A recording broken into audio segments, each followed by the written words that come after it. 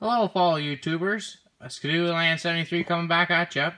So today's video is just going to be on about my tips and tricks to rebuild a Tillotson HD carburetor. This HD is off a, a TNT 440 fan. So first of all, you can strip it all down right to this. And then there's two Welch plugs, one here, one here.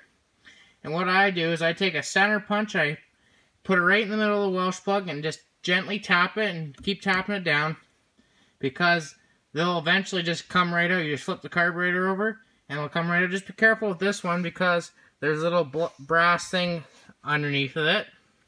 So if you do those and then just use a flat punch and flat, uh, just put them in, hit them a couple times, make them flat, flush to the carburetor, and then you should be good to go. And Make sure you clean. There's a bunch of little ports and everything underneath it, and this one's just the high speed, and this one is the low speed. The next thing I checked is for neat uh, needle movement. So let's check this one. See how there's a lot of play in that before it moves up. A lot of play. So I'd replace that, and if you want, you can take out your needle. And I just look at the rubber tip, because they're rubber or some type of rubber, and see if it's starting to crack or missing half of it. If it is, replace it, because then it won't run right. It'll, you'll flood it every time, and so on and so on.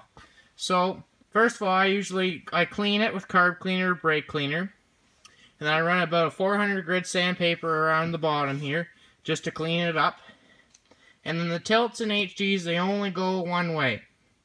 So first of all, you want to take your gasket, your base gasket, like that, your diaphragm, and your diaphragm only goes one way. This little tab sits down on the needle like this,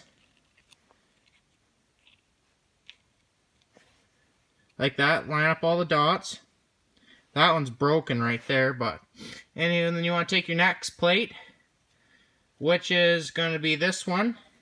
And this 440 has this, uh, you know, thing that comes off the crankcase.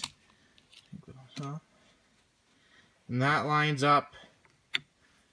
You, yeah, again, it only goes one way, so you got to figure it out.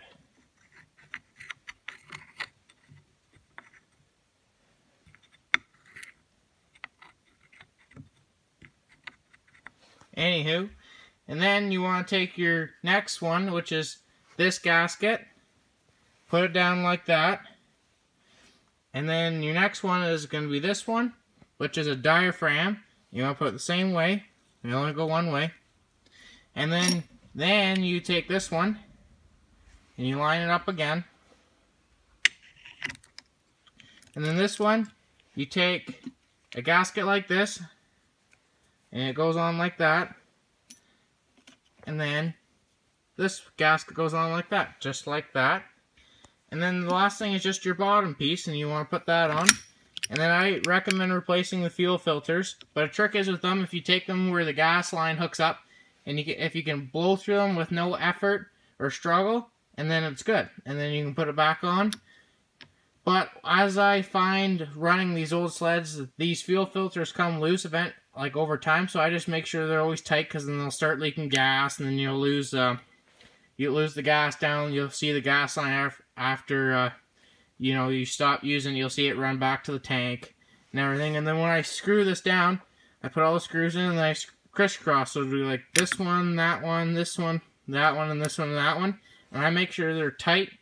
Not too tight. You don't want to snap the screw or strip it out. Just tight enough that it won't come out. So, yeah.